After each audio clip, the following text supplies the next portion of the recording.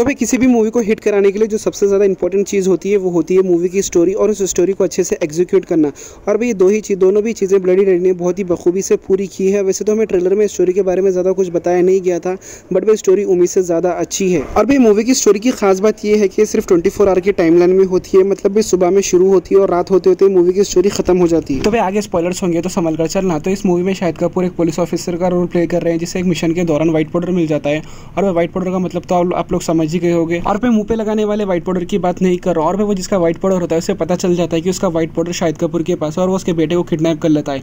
और वह शाहिद कपूर जाता है उसके बेटे को छुड़ाने बट उसके पास भी व्हाइट पाउडर नहीं होता है। और मैं मूवी में ऐसे ही काफ़ी सारे ट्विस्टेड है बट मैं आपको ज़्यादा भी स्पॉइलर नहीं दूँगा, वरना आपको मूवी देखने में मज़ा नहीं आएगा।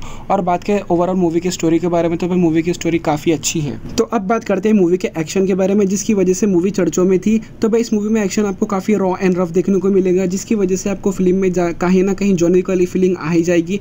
बट मुझे एक्शन की ये बात बहुत अच्छी लगी कि इन्होंने एक्शन को काफ़ी सिंपल एंड क्लियर रखा है, जिस, जिसमें कम से कम एडिटिंग होती हो। और भाई, इसी चीज़ की वजह से आप मूवी से अच्छे से कनेक्ट कर पाते हो और मूवी देखने में आपका इंटरेस्ट बढ़ जाता है। बट भाई, कोई भी चीज़ परफेक्ट नहीं होती है तो इसमें भी थोड़ी बहुत कमियाँ हैं। जैसे कि फाइनल एक्शन को लेके मतलब भाई फाइनल एक्शन में आपको मेन विलन के साथ समाप्ति करनी चाहिए थी। और भाई, आपको फाइनल एक्शन देखते देखते स्लाइटली ऐसा फील हो जाता है कि एक्शन और भी बेहतरीन हो सकता था, जो कि इन्होंने ट्राई नहीं किया। तो भाई मूवी के ओवरऑल एक्शन के बारे में बात करें तो बस मैं यही कहूँगा कि एक मूवी ने कर दिखाया। अली अब्बास ज़फ़र, जो इस मूवी के डायरेक्टर है, जिन्होंने टाइगर ज़िंदा है, भारत सुल्तान जैसे मूवीज़ को डायरेक्ट किया है, उन्होंने कुछ इस बार अलग सा ट्राई किया है और मुझे ऐसा लगता है कि वो इसमें कामयाब भी हुए हैं। तो देखो भैया, मेरा पर्सनल ओपिनियन है, आपका ओपिनियन जो है, आप कमेंट में बता सकते हो। और मैं बात करें मूवी की एक्टिंग के बारे में तो देखो भाई, शाहिद कपूर ने काफ़ी बढ़िया काम किया जैसे हम जानते हैं शाहिद कपूर की एक्टिंग स्किल्स कितनी कमाल की और भी काफ़ी दूसरे एक्टर्स ने भी काफ़ी बढ़िया काम किया है। और मुझे ऐसा लगता है कि राजीव खंडीवाल को ये रोल सही से सूट नहीं हुआ है। बाकी फ़िल्म काफ़ी बढ़िया थी और भाई इसके ऊपर आपका क्या मानना है? कमेंट में ज़रूर बताना और फ़िल्म आपको कैसी लगी वो भी बताना। और अगर आपने अभी तक फ़िल्म नहीं देखी तो मैं आपको ज़रूर रिकमेंड करूँगा कि आप जाके फ़िल्म ज़रूर चेकआउट करें।